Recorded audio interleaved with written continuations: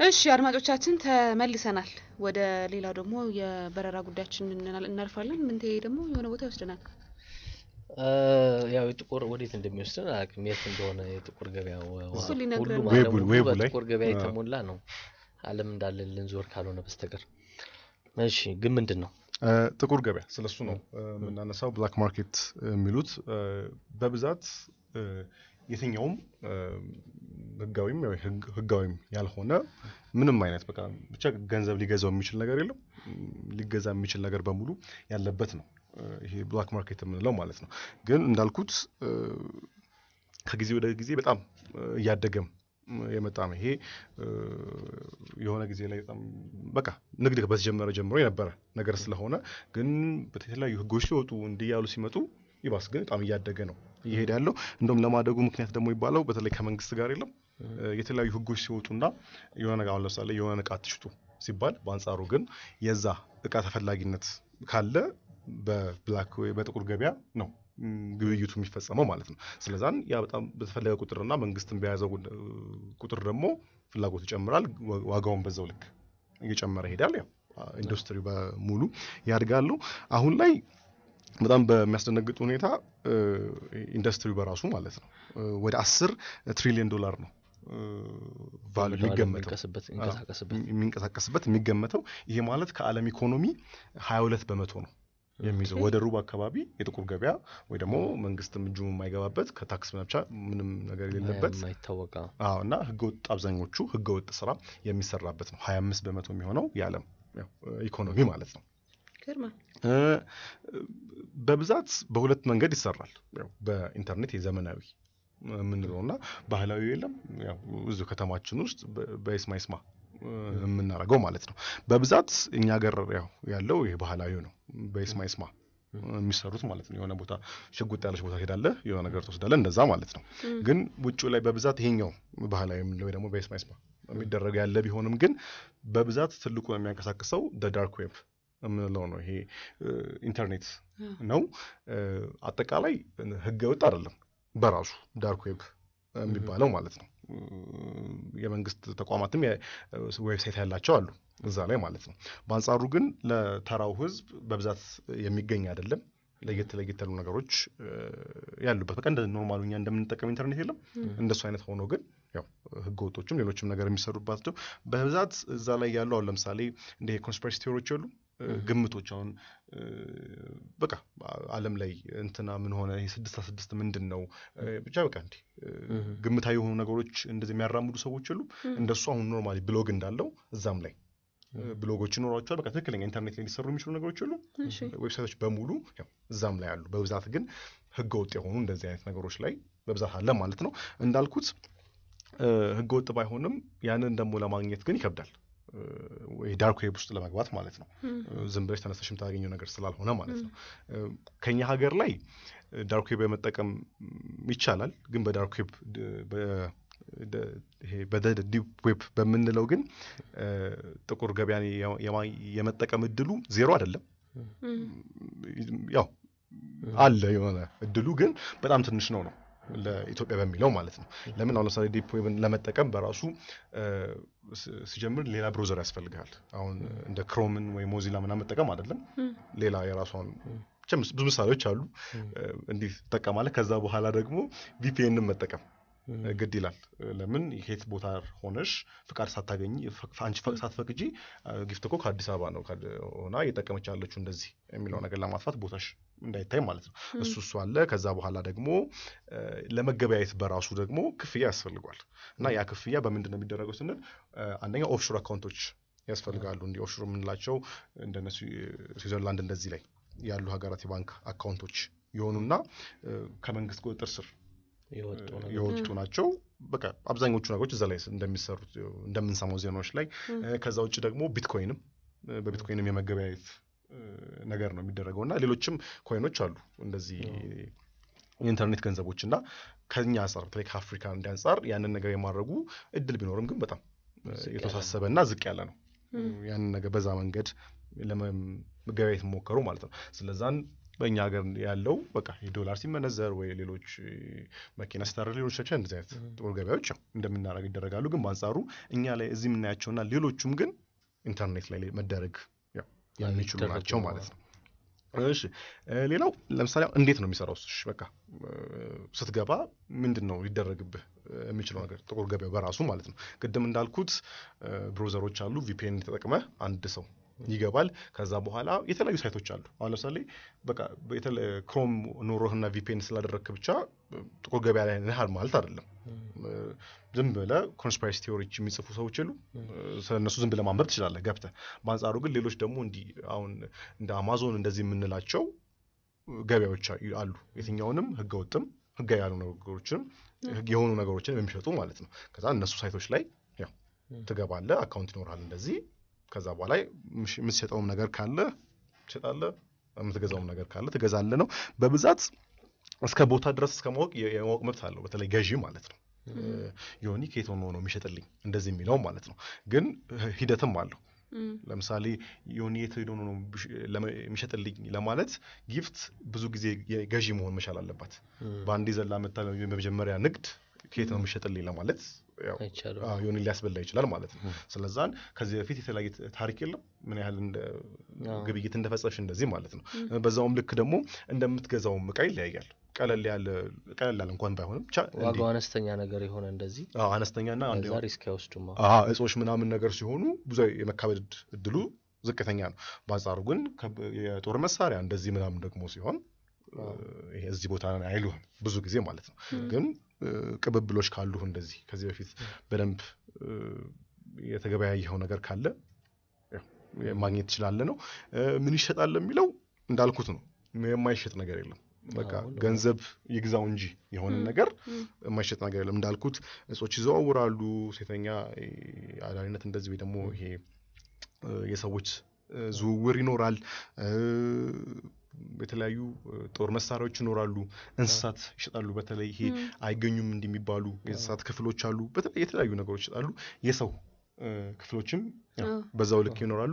እንደውም እ፣ ክፍ- ክፍያው ራሳቸው ክፍያቸው ራሱ ይለያያል። አንዳንዱ አሁን ለምሳሌ በድህነት ላይ እንደዚህ ያው ችግር ሲኖርብህ ኩላሊት እንደሚሸጡ ይኖራሉ።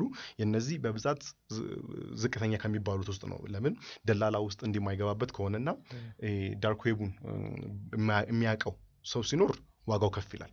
በአንጻሩ ግን ያን ይዘው የሰው አካል ራሱ ሆኖ ማለት ነው ይሄ ታግተው ከቤታቸው ተወስደው እንደዚህ የለም። እነሱ ሲሆኑ ግን በአዘዋዋሪዎች እንደዚህ ስለሚሄድ በጣም ብዙ ነው ሊጠራበት የሚችለው ማለት ነው። ግን እነዛው ለምሳሌ በድህነት ምናምን ያሉት አንድ ሺህ ብትባል ለኩላሊት ጨንቆ ስለሆነ ይጠቀሙባቸዋል። ያንን ነገር ስለምታደርግ እስከዛ ድረስ ይሄዳሉ።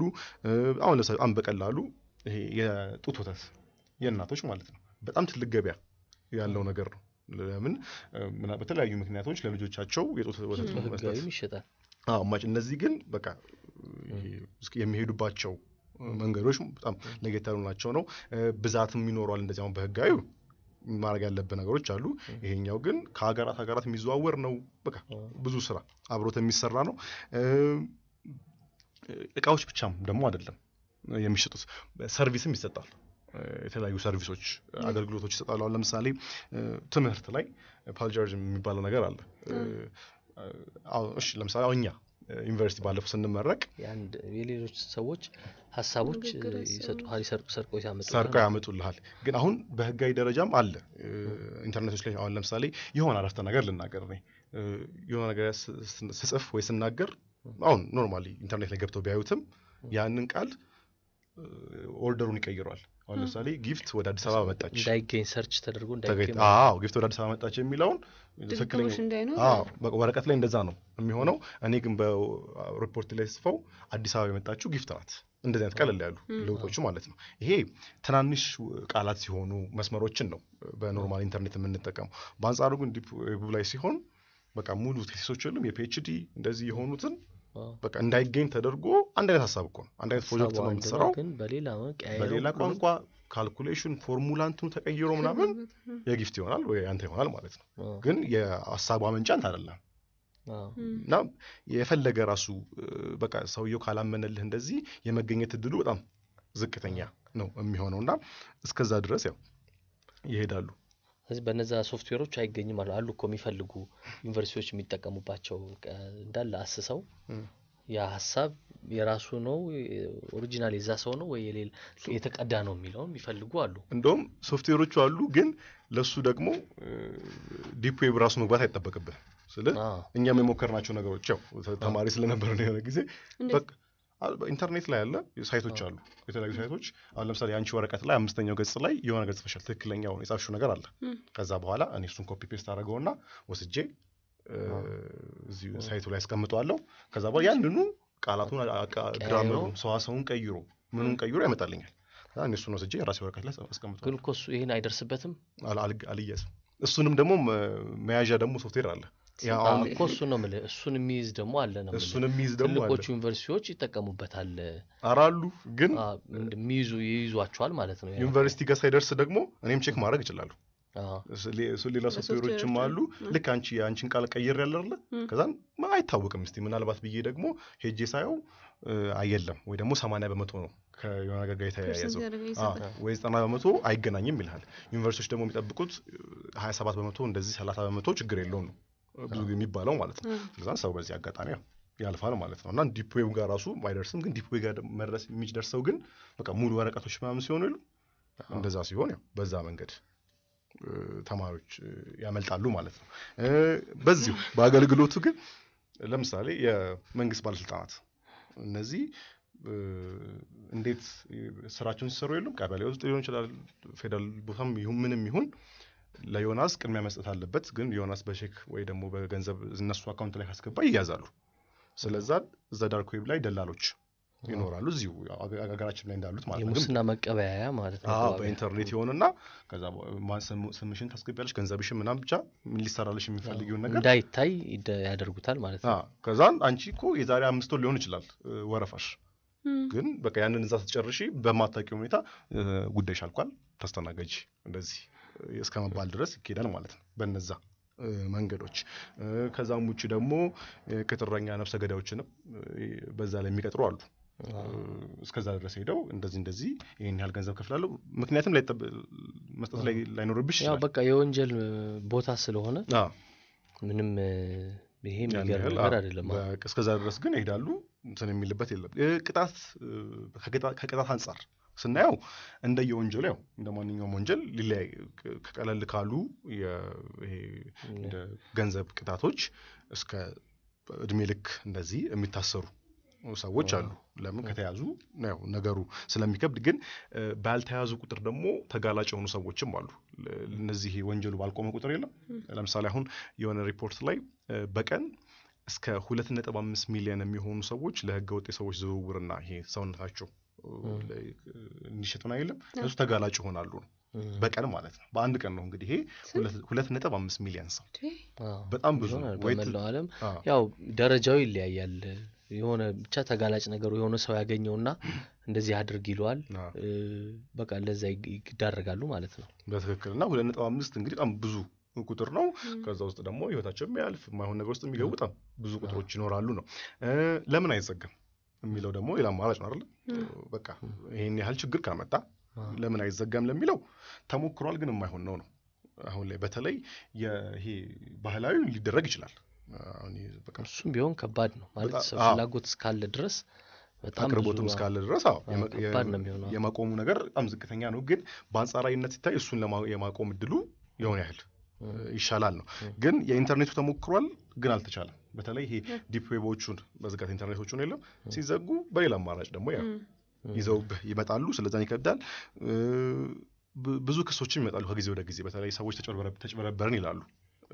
የሆነ ነገር ይከፍል ትከፊና አይደርስሽም። ማን ጋር ትጮያለሽ? ጀምሩም ወንጀል ነው እየሰራሽ ያለሽው፣ ምንም አታመጭም። እና እንደዚህ አይነት ነገሮችም አብረት ይመጣሉ። ግን እንዳልኩት የመዘጋት ነገሩ የሚሆን ነገር አይደለም ነው። ከጊዜ ወደ ጊዜ በጣም እየሰፋ ነው እየሄደ ያለው። መጨረሻ Netflix ላይ ወይ ደግሞ ሌሎች ፊልሞች ላይ ሊያያቸው የሚችሉት ሊያዩት የሚችሉት Dark Net የተሰኘ series አለ። ቢያዩት በቃ ስለዚህ ዓለም የለም የሚዘረዝረው ነገር ለየት ያለ ነው። Dark Net ይሰኛል ፊልሙ ደግሞ ተከታታይ ፊልም ነው። ይህን በጣም ሰፊ ይመስላል። ነገር ነው ያነሳኸው። Ethiopic Ethiopic calling.